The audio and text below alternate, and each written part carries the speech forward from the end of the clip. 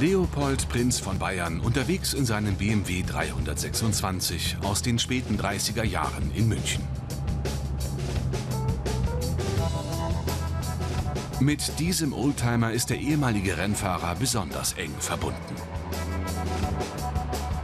Man muss halt wissen, man hat eine alte Dame, äh, die man jetzt hier, also mit der einfach ganz behutsam umgeht mit ihr, weil die ist natürlich von 1939, das ist ja schon ein paar Jahre her.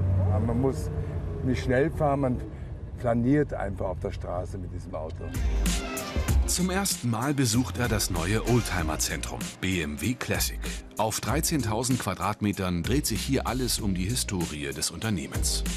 Neben Werkstätten, in denen Autos repariert und restauriert werden, werden auch Modelle aus der 100-jährigen Firmengeschichte ausgestellt. Prinz Leopold kennt einige, so wie den BMW 328.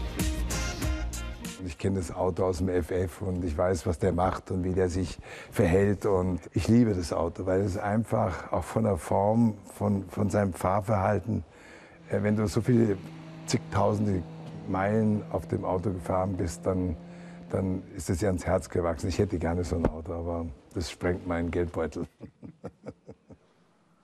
Wer sich nicht gleich einen Klassiker kaufen möchte, kann sich hier einen mieten.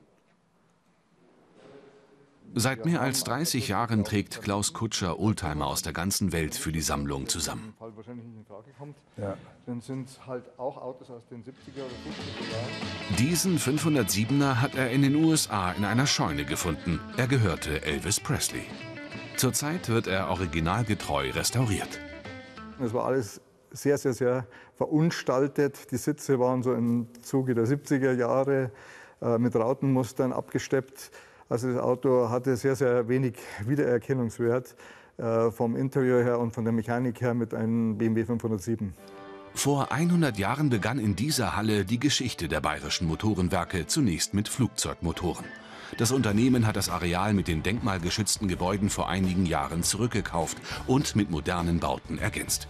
Manfred Grunert ist verantwortlich für das Konzept und die Architektur der BMW Classic. Eine Investition für das Image der Automobilmarke.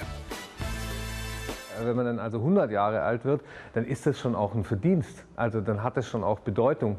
Und dass man natürlich diese Bedeutung auch in Form von Traditionspflege äh, unterstreichen möchte, liegt in der Natur der Sache. Ja? Also das hebt einem ja ab von anderen, nämlich die eben nicht so alt geworden sind. Was tatsächlich nicht kopierbar ist, ist Geschichte.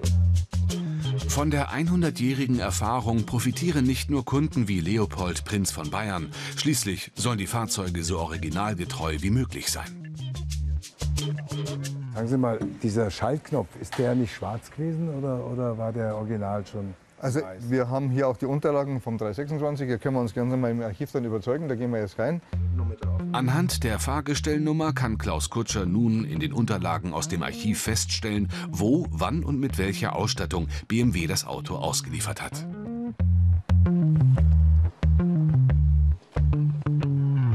Jetzt haben wir eindeutig das Indiz dafür, ob der Schaltknopf weiß oder schwarz ist. Hier im Verkaufsprospekt ist er schwarz abgebildet. In zwei Wochen wird das Ersatzteil geliefert und anschließend eingebaut.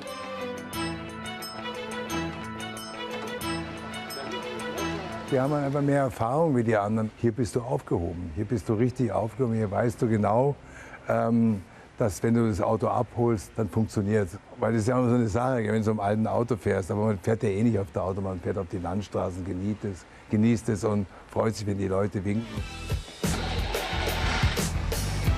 BMW Classic. Ein neuer Standort für Oldtimer-Liebhaber.